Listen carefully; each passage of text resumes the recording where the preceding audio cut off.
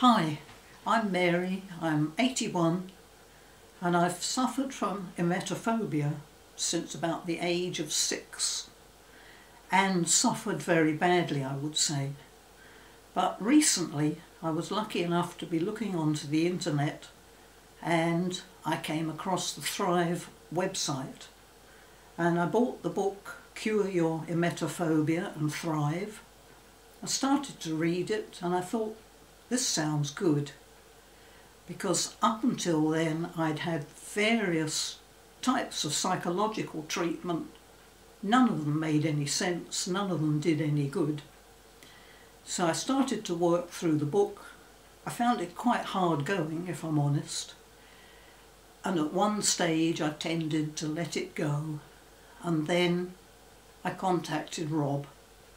And Rob came and gave me a session and that got me back into realising that I'd got to really make the effort, which I did, and I worked through the book. I had reminders to remind myself every day of things that I'd got to do, things that I'd got to stop doing, and I think I can now fairly say that at 81, after 75 years of suffering, I'm, I'm cured.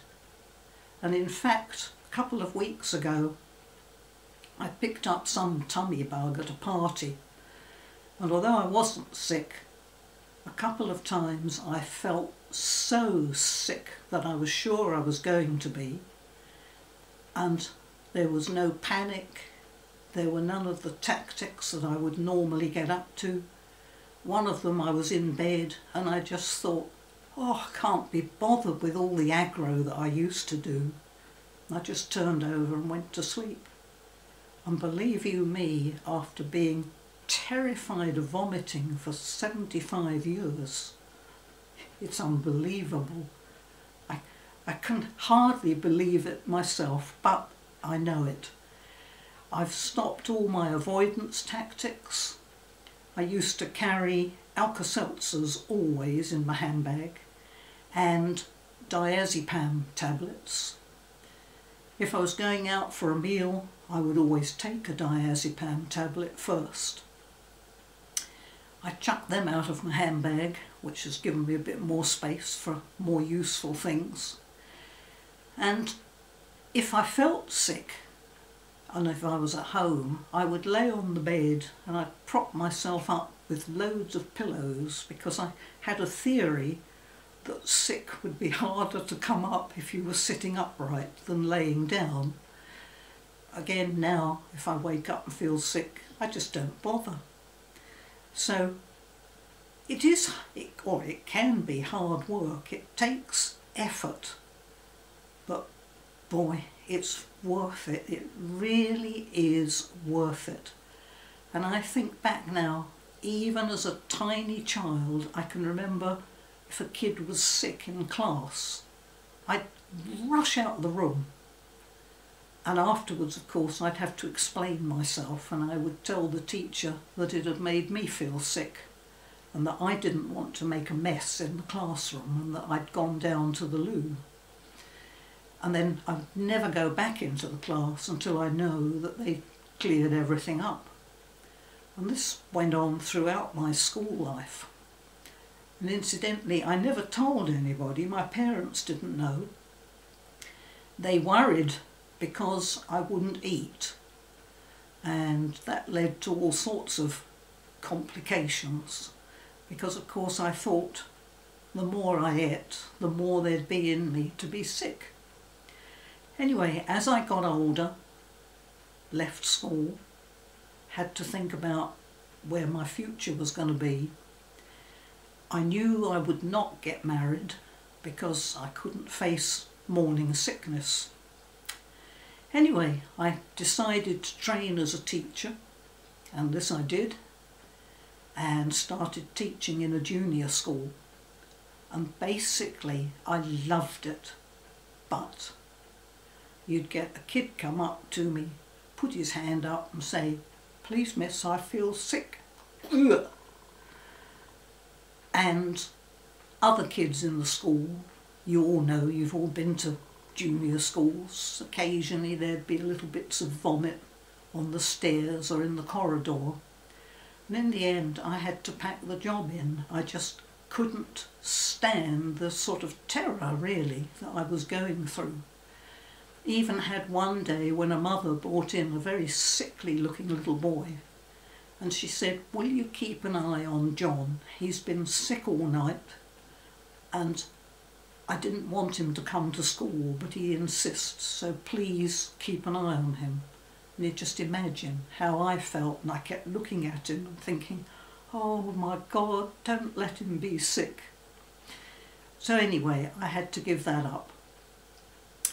And then I decided I'd have to go and see a psychiatrist. So I called at a local hospital, made an appointment, saw this man. I didn't tell him that I was afraid of being sick. I told him I had panic attacks. And he arranged to get me into a big mental hospital down in Surrey. And at first, I just had group therapy, which did nothing. Then I was shifted to what they called the main hospital, where we used to say all the loonies went. So I thought, right, I'm a loony now. And I had a most intriguing psychiatrist whose session with me was everybody's sick sometimes. It's nothing to be frightened of, and that was the end of his session. I then had a weird session where they used to make me sniff ether until I was nearly unconscious and then they'd fire questions at me. But apparently I wasn't cooperating and we got nowhere so I left the hospital. And because my parents said they weren't having somebody of my age living at home for free and that I'd got to pay them, I got desperate. I didn't know what to do and I swallowed a bottle of tablets. Ended up stomach pumped in the local hospital, straight back to the big mental hospital, and then had a most entertaining treatment called Freudian dream analysis, which may be good, but personally I wouldn't recommend it to anybody. How it cured anybody of anything, I don't know. But I was in and out of that hospital for about four years.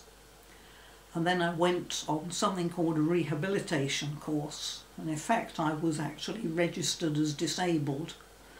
Only in those days you got a little green card and I took mine home, and tore it up and threw it away.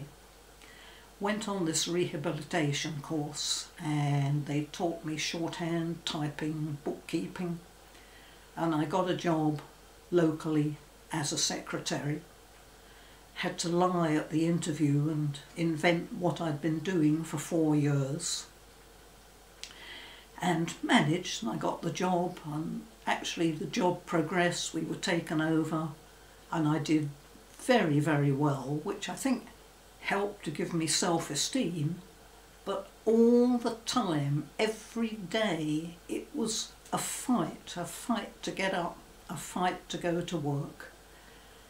Looking back now, I just don't know how I did it. It's, it's unbelievable.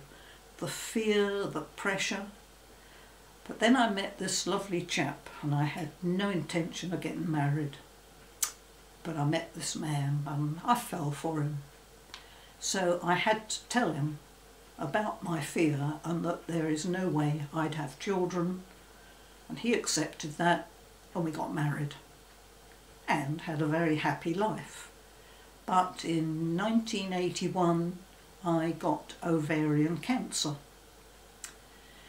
and it was quite serious and in 1981 things weren't as advanced as they are now. And after the operations they wanted me to have chemotherapy. I refused point blank my consultant said, if you don't have chemotherapy, you'll die. And I, my answer was, well, I'd rather die because in those days chemotherapy was a very sick-making thing. It's not like today. I would have to go into hospital once a month for three days and I would be sick for three days. If any of you have got emetophobia, you'll know that that's just not on. So I won't go through all the ins and outs. They sent me off to see a psychiatrist who was no help in getting over my fear. Anyway, eventually I got over the cancer. And I just, I don't know, life was just a total struggle. I felt as though I was always carrying a huge weight on my shoulders. And I thought, God, it must be wonderful to be able to chuck this weight away. But anyway, I jogged on and then, unfortunately, just a couple of years ago, I lost my husband. And I think that daunted my self-esteem because being retired and no job and having no husband to care for, I felt totally useless. I probably still am totally useless if the truth be known. But I felt now I might have 20 years left, I don't know, of active life. And I have to get rid of this phobia. Just to think of having a few years before I die of peace, being able to enjoy life. And that's when I found Thrive I found Rob, who is an inspiration. He'll say he's not, but he is. And here I am now. The panic's gone. All the, even the, just the fact that every day I'd be walking about thinking, do I feel sick? I mean, that was quite a common thought, and of course that can make you feel sick. And all I can say is, after 75 years of that, it's gone. I can feel sick. I can be like other people, not panic, not rush for Alka-Seltzers. So it's, it's, I wouldn't say it's easy at all.